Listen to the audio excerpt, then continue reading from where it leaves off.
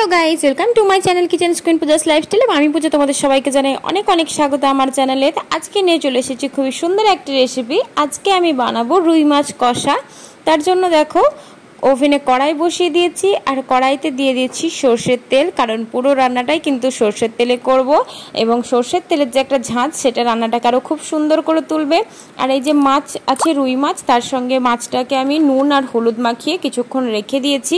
এবার মাছগুলোকে ভালো করে ভেজে নেব। তেলটা খুব ভালোভাবে গরম হয়ে গেছে, তারপরেই কিন্তু মাছগুলো দিয়েছি।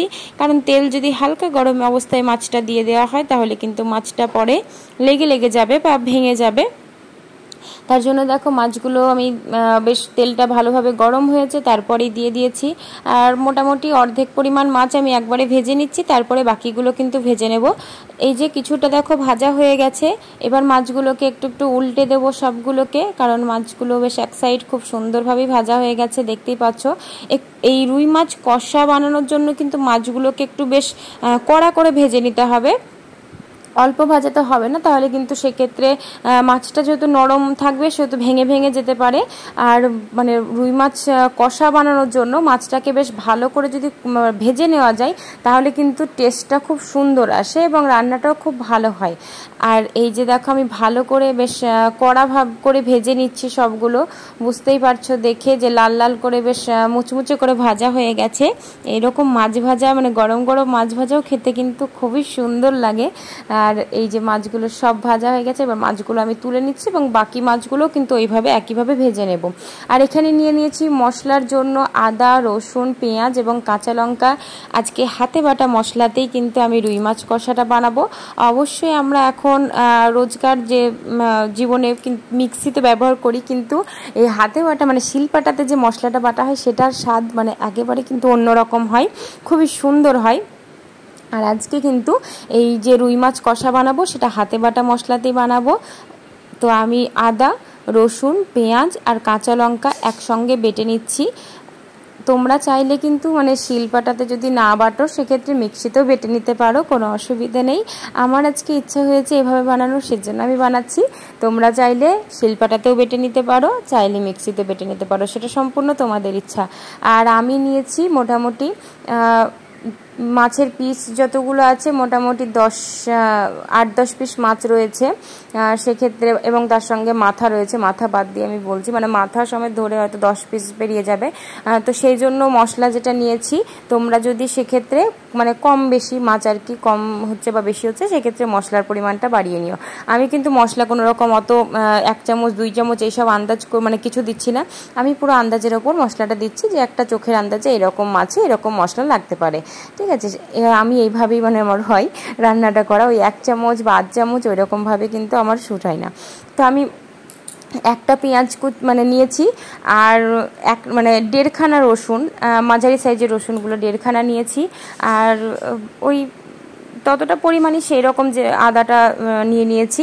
তারপরে আর দুটো কাঁচা লঙ্কা দিয়েছি, কারণ কাঁচা লঙ্কাগুলো প্রচণ্ড ঝাল সেই জন্য আমি খুব বেশি দিচ্ছি না বেটে।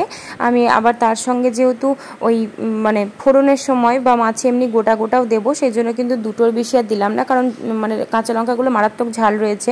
মশলাটা বাটা হয়ে গেছে, আর হাতে বাটা মশলা মানে একেবারে প্লেন মানে পেস্ট হবে না, বেশ একটু ছিবড়ে ছিবড়ে ধরনের থাকবে, সেটা আরও বেশি ভালো লাগে। তো আমি মশলাটা বাটা হয়ে গেছে, শিল পাটাটা ধুয়ে একটু জল বুলিয়ে নিচ্ছি, তারপরে সেটাও কিন্তু মশলার সঙ্গে দিয়ে দেবো। এই যে, আর ওদিকে কিন্তু আর একবারের মাছটাও আমার মনে মোটামুটি ভাজা হয়ে গেছে, আমি মাছটা কিন্তু তুলে নিয়েছি। তো, যে তেলটুকু রয়েছে সেটাতেই রান্নাটা হয়ে যাবে, তারপরে কিন্তু আমি তাতে তেজপাতা, লঙ্কা দিয়ে দিয়েছি, হাতে জল ছিল, জল পড়েছে আর তেল ছুটতে শুরু হয়ে গেছে। আর তার সঙ্গে দিয়েছি গোটা গরম মশলা মানে একটা দারচিনি আর লবঙ্গ, এলাচ। লবঙ্গ দিয়েছি তিনটে, এলাচ দিয়েছি একটা, দারচিনিও দিয়েছি একটা। আর মানে সেই টাইমে তেলটা এমন ছুটলো যে দেখতেই পেলে না তোমরা হয়তো। তারপরে পেঁয়াজ দিয়ে দিয়েছি আর পেঁয়াজটা ভাজা হয়ে গেছে। দেখো, কিছুক্ষণ ভেজে নিয়েছি। আর তারপরে দিয়ে দিয়েছি ওই বেটে রাখা মশলাটা, যেটাতে সাথে ছিল আদা, রসুন, পেঁয়াজ আর কাঁচা লঙ্কা। আর আমি দেখো তিনটে, চারটে কাঁচা লঙ্কা কিন্তু গোটাও দিয়েছি। মানে গোটা বলতে দুটো আবার একটু ফাটিয়ে দিয়েছি আর দুটো একেবারেই ফাটাইনি। ঠিক আছে? কিছুই করিনি। মানে শুধু এমনিই দিয়েছি। শুধুমাত্র কাঁচা লঙ্কার বেশ ভাবটা উঠবে সেই জন্য। আর তারপরে এই যে টমেটো দিয়ে দিয়েছি, একটা মাঝারি সাইজের টমেটো ব্যবহার করেছি আমি। তারপরে মশলাটাকে কিন্তু এবার ভালো করে কষিয়ে নিতে হবে। তো পেস্ট করা বা বেটে নেওয়া মশলা তো দেওয়া হয়ে গেছে। এবার পালা শুকনো মশলাগুলো দেওয়ার। তো আমি প্রথমেই দিয়ে দিচ্ছি পরিমাণ মতো নুন, তার সঙ্গে দিয়ে দিচ্ছি পরিমাণ মতো হলুদ, দিচ্ছি কাশ্মীরি লঙ্কার গুঁড়ো আর তার সঙ্গে দিচ্ছি জিরে এবং ধনে একসঙ্গে মিক্স করা রয়েছে। আর তার সঙ্গে দিয়ে দিচ্ছি ছোটো চামচের এক চামচ পরিমাণ মতো চিনি মানে আন্দাজ মতন, ঠিক আছে? আমি তো হাতে করে দিলাম, তোমরা সেটা আন্দাজ মতন দিয়ে দেবে বাস আর এই যে সব মশলা দেওয়া হয়ে গেছে, এবার কিন্তু মশলাটাকে ভালো করে কষিয়ে নেওয়ার পালা। আর মশলাটা কষানোর সময় একেবারে হাই ফ্লেমে দিয়ে দেবো না। তাহলে এই যে টমেটো দিয়েছি, টমেটোটা বেশ একটু গলবে, সেক্ষেত্রে খুব ভালো লাগবে। তার জন্য আমি কিন্তু একেবারে আঁচটা লো টু মিডিয়াম ফ্লেমে রেখে দিয়েছি। আর মশলার বাটিটা ধুয়ে সামান্য পরিমাণ জল দিয়ে দিলাম। খুব বেশি পরিমাণ জল দিয়ে নি দেখো। সামান্য পরিমাণে জলটা দিয়েছি। এবার কিন্তু মশলাটা কষিয়ে নেব। আর আমি এখন লো ফ্লেমে রেখে দিয়েছি। লো ফ্লেমে রেখে কিন্তু এভাবে মশলাটা যখন কষিয়ে নেব টমেটোটাও কিন্তু ভালোভাবে গলে যাবে। তো এই যে মশলাটা দেখো, কষানো হয়ে গেছে, একেবারে জলটাও শুকনো শুকনো হয়ে গেছে। এবার কিন্তু এর মধ্যে এবার মাছগুলোকে দেওয়ার পালা, কারণ মশলা পুরো কষানো কমপ্লিট আর দেখতেই পাচ্ছ কালারটা কত সুন্দর এসেছে, আর গন্ধটাও খুব সুন্দর বেরিয়েছে। সেটা তো তোমরা দূর থেকে মানে পাবে না। আমি সেটা বলে দিলাম তোমাদেরকে। আর এই যে তারপরে মাছগুলোকে দিয়ে দিয়েছি, এই যে এই কারণেই মানে মাছ কষানোর সময় মশলার সঙ্গে এইভাবে যে নাড়াচাড়া করে নেব না, সেই জন্যই কিন্তু মাছটাকে ভালো করে ভেজে নিতে বলছিলাম। তাহলে মাছটা যদি একটু ভালোভাবে কড়া করে ভেজে নেওয়া যায়, তাহলে এইভাবে নেড়েচেড়ে নেওয়ার সময় কিন্তু একটু ভেঙে যাবে না। আর যদি নরম নরম করে ভাজো বা হালকা ভেজে নাও, তাহলে এই সময় যখনই নাড়বে, পুরো মাছ মানে মাছ কষা হবে না, মাছের ভর্তা হয়ে যাবে। তারপরে যে মশলাটা সব মাছের সঙ্গে দেখো মাখো মাখো হয়ে গেছে। মশলাটা খুব ভালোভাবেও কষানো হয়ে গেছে। বেশ কিছুক্ষণ ধরে মশলাটা কষিয়ে নিয়েছি। আমি একেবারে যেহেতু ঝরঝরে রয়েছে সেই জন্য সামান্য পরিমাণ জল অ্যাড করব। তাও পাঁচ মিনিট মতন কষিয়ে নিয়েছি তারপরে, ঠিক আছে? একেবারে সঙ্গে সঙ্গে নয়। তোমরা যদি চাও তাহলে জল অ্যাড নাও করতে পারো। যদি মানে মশলাটা একটু গ্রেভি গ্রেভি আছে মনে হয়, তাহলে সেক্ষেত্রে অ্যাড নাও করতে পারো। কারণ এটা তো জল টল কিছু থাকবে না বা ঝোল থাকবে না। একেবারে কষা কষা হবে। কিন্তু একেবারে যেহেতু দেখো ঝরঝরে হয়ে গেছে, সেই জন্য আমি সামান্য পরিমাণে জল কিন্তু অ্যাড করব। তো ভালোভাবে কষিয়ে নেওয়া হয়ে গেছে, মোটামুটি মিডিয়াম ফ্লেমে রেখে পাঁচ সাত মিনিট মতন কষিয়ে নিয়েছি। খুবই ভালোভাবে কষানো হয়ে গেছে। আর এবার কিন্তু আমি সামান্য জল যেটা দেব সেটা অ্যাড করে দেব। ভালোভাবে নাড়াচাড়া করে নেবে, তারপরে কিন্তু জলটা দেবে। কেউ মশলাতে মাছটা দেওয়ার পরেই যেন সঙ্গে সঙ্গে আবার জল দিয়ে দিও না। তা দেখতেই পাচ্ছ আমি কতটুকু জল ব্যবহার করেছি। খুবই সামান্য পরিমাণ জল আমি ব্যবহার করেছি। জাস্ট মাছটা একটু গ্রেভিটা আনার জন্য আর কিছুই নয় তাছাড়া।